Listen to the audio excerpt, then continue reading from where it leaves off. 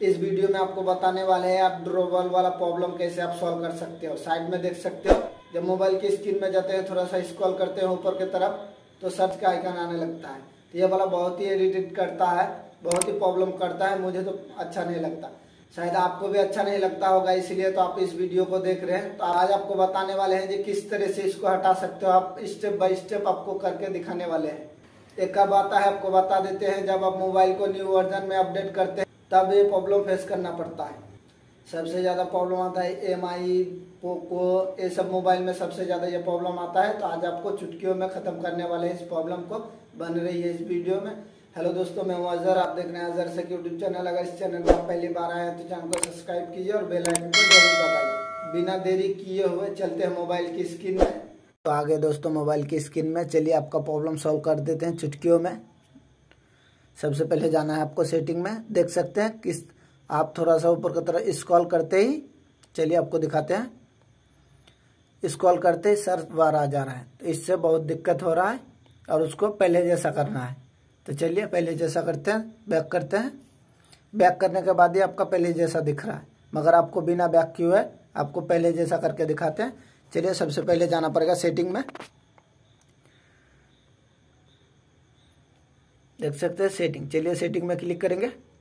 Setting में click करने के बाद कुछ इस तरह का इंटरफेस आएगा। अब नीचे की तरफ़ आना है स्क्रॉल करके।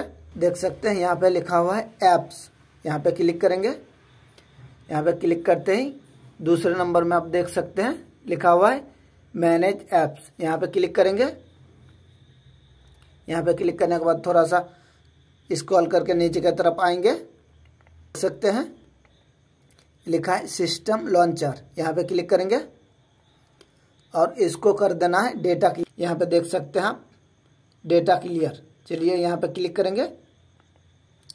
अब यहाँ पे देख सकते हैं आप क्लियर ऑल डेटा यहाँ पे क्लिक करेंगे।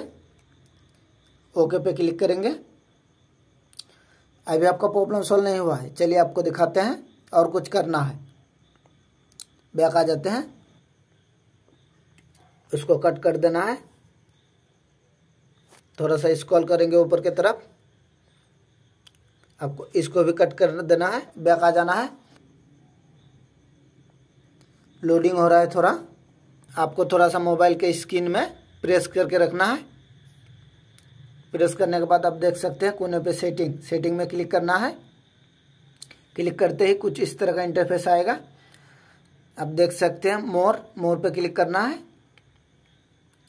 और यहाँ पे देख सकते हैं आप दो नंबर में होम स्क्रीन यहाँ पे क्लिक करेंगे।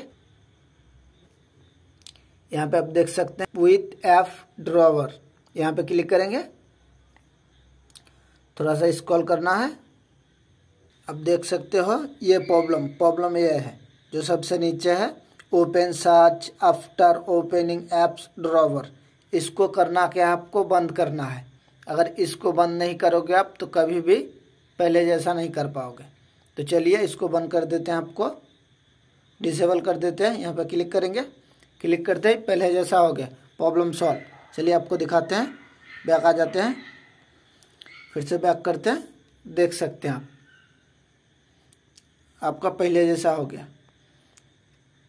तो चलिए बैक चलते हैं।